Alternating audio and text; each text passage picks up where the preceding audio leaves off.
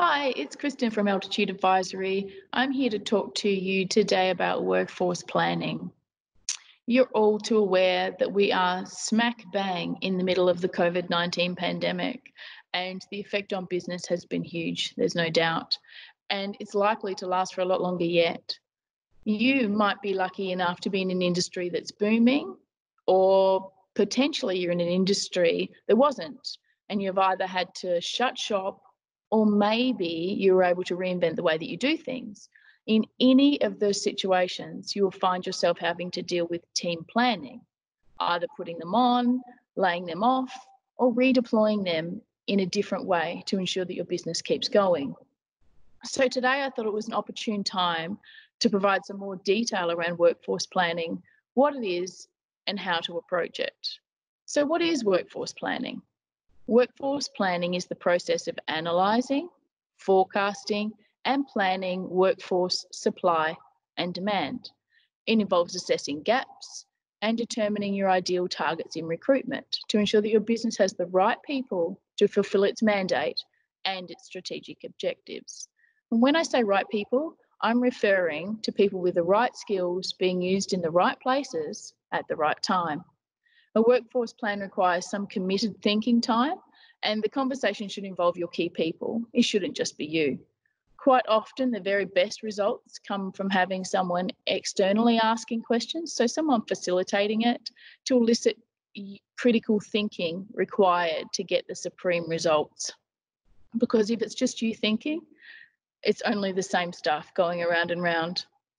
Workforce planning can be broken down into key focus areas that basically pinpoint where we are now, where we're going to go, and what's our plan to bridge the gap. First, we need to consider the foundation of every good business strategy.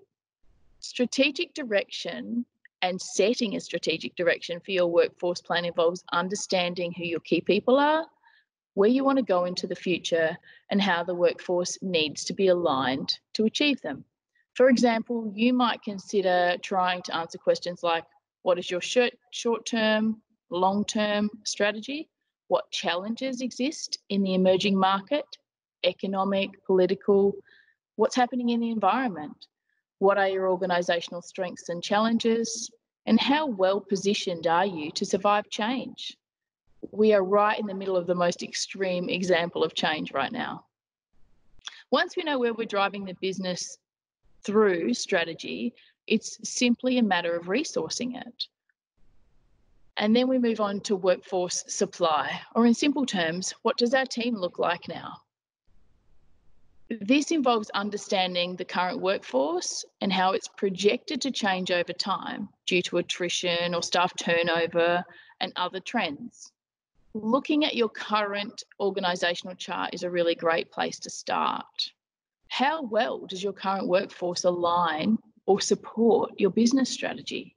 How many employees are at each level? How will turnover of key staff affect your organisation's ability to deliver those services? What difficult positions do you have to fill? Where am I challenged to fill positions with quality applicants? Are there local recruitment sources that can help get top talent? Is there a new way that we could work to, to bring in a different skill mix that's going to help in recruitment? And can the workforce be arranged differently to better facilitate workload coverage? Once you've answered all of those questions and revisited your strategic direction and you understand your current workforce abilities and limitations, you can look at demand. What are you going to need into the future? Demand analysis, or where's the business heading, means that you take your strategic document and you make an assessment on the types of workers and skills and the number of resources that you think you're going to require. You can assess this by asking yourself or getting someone else to ask you some questions along the lines of how many staff do we need to deliver the service offerings into the future? What percentage of a full time person's time is required to deliver a particular service or product? Are we anticipating any changes in technology, regulations, customer base?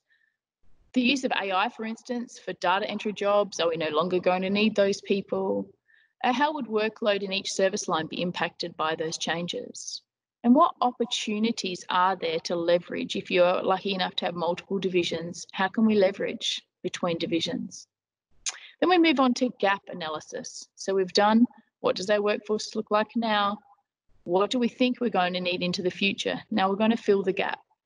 It involves looking at your top priorities and which things are going to have the greatest impact on business performance. So here we're going to focus on what competency or skill gaps do I have? How are those competencies and skills being updated to reflect the changing business environment? Is there enough diversity in my workforce?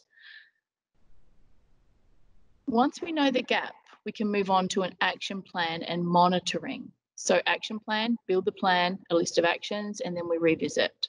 So once we've identified the strategy, assessed our current workforce, modeled our future workforce, we're going to build a plan. So you're going to need a recruitment plan. Which roles do we recruit for first? A training plan. Who needs upskilling or training to fit into the future of the business? Who do we want to let go? So in this area, the action plan, we're going to focus on the 20% of actions that give us the 80% return. So focus on 20% to get the biggest bang for buck, the real dial shifting. Having a workforce plan, like any plan, takes the guesswork out of decisions. It allows an on purpose way of driving your business forward as opposed to accidental motion. It also has the added benefit of adding dollar value to the business as a whole in the instance of succession or sale. If you have any questions at all or want to talk about workforce planning, I hope I've covered off just a, a little brief overview. But if you wanted to talk to me about it, please give me a call. My name is Kristen. You can call me on 8172 Have a beautiful day.